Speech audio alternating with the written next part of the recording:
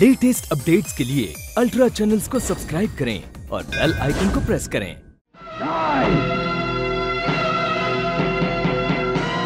नरसिम्हा जी हमने भैया बाबू को बचाने की बहुत कोशिश की लेकिन वो नेगेटिव्स करण सिंह के पास हैं जिसमें भैया बाबू ने मिनिस्टर का खून किया है। अगर कल सुबह तक अदालत में पहुँचने से पहले हमने वो नेगेटिव्स हासिल ना कर लिए तो उन्हें कोई नहीं बचा सकता।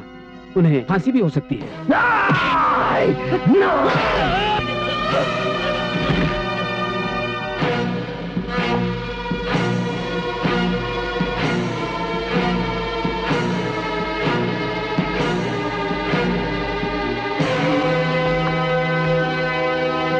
ये इसके नेगेटिव हैं सर अब इस सबूत के बलबूते पर कालीचरण को हर हाल में फांसी होनी चाहिए। आप चिंता मत कीजिए उसे ज़रूर फांसी होगी।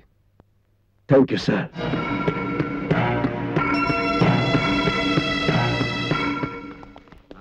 क्या हुआ? राजा आया नहीं है अभी तक बस वो आते होंगे। आज से तुम आज़ाद हो गई हो। थैंक यू सर मैं जरा वो वकील से मिलकर आता हूँ? जी।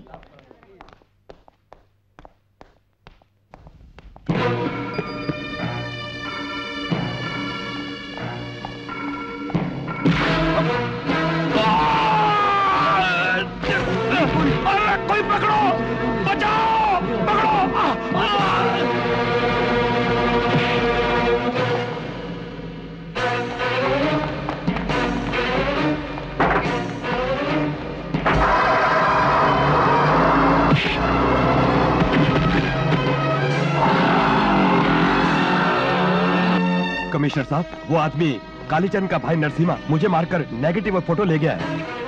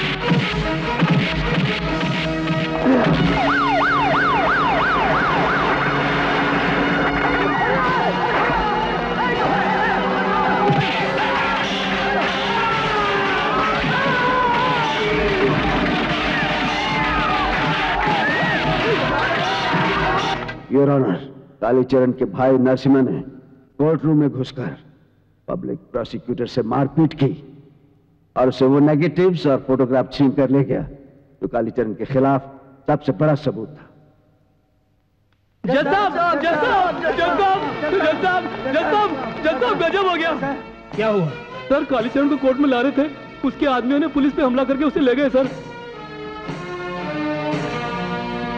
कालीचरण के गुंडों ने कोर्ट में पब्लिक प्रोसिक्यूटर पर हमला करके कंटेम्प्ट ऑफ़ कोर्ट किया है और कालीचरण के गुंडों ने पुलिस पर हमला करके जुर्म किया है इसलिए ये अदालत पुलिस को हुक्म देती है कि कालीचरण और उसके भाई नरसिम्हा को 24 घंटे के अंदर अदालत में पेश किया जाए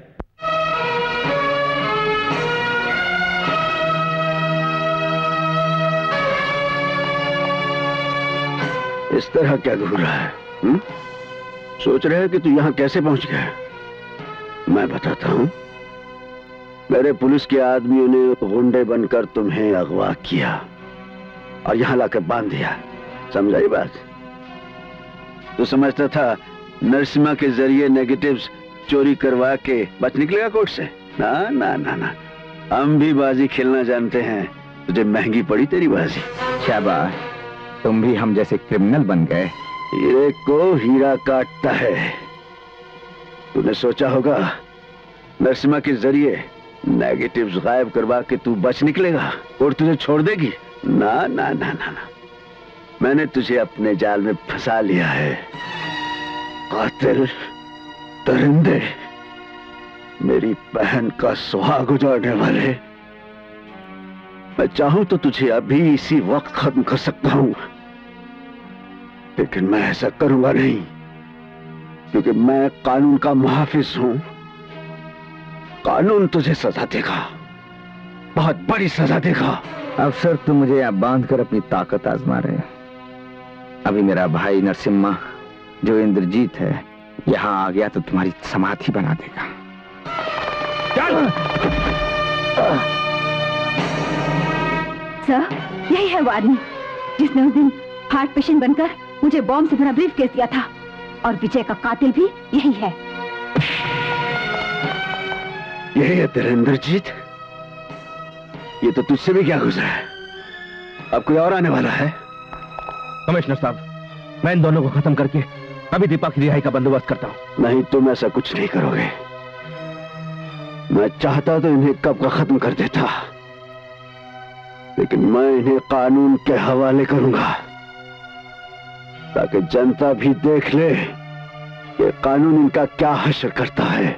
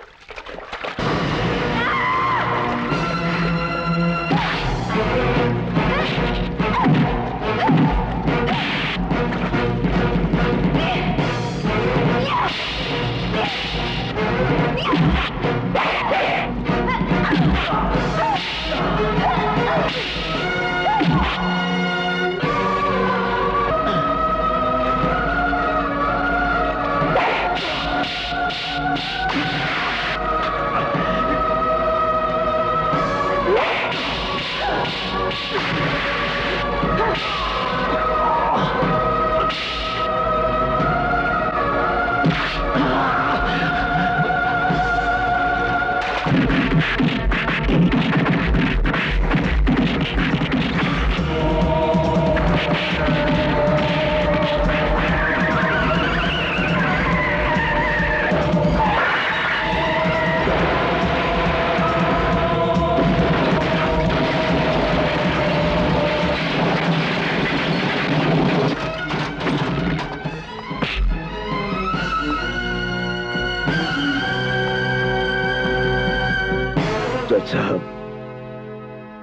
कालीचरण और नरसिम्हा यही है वो कमीने मक्कार जिन्होंने मुझे होम मिनिस्टर को बॉम्ब से उड़ाने की गंदी साजिश का शिकार बनाया था।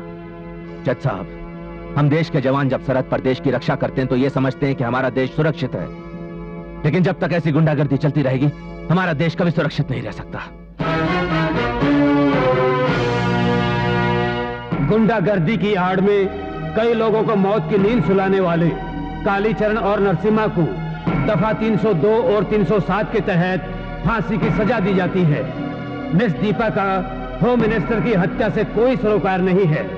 इसलिए ये अदालत दीपा को बेकसूर करार देते हुए बाइज्जत बरी करती है।